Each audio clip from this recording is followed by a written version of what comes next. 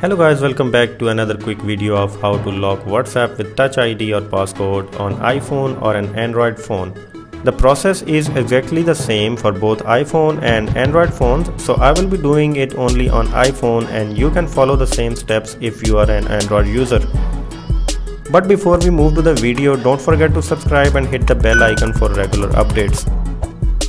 So to enable Touch ID go to your WhatsApp settings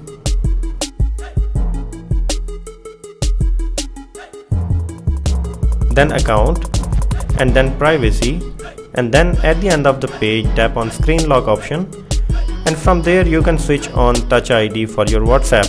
You can also adjust the time to lock WhatsApp immediately or after 1 minute, 15 minutes or 1 hour. And when you're done simply close your WhatsApp and now when you try to open it, it will require your touch ID or passcode.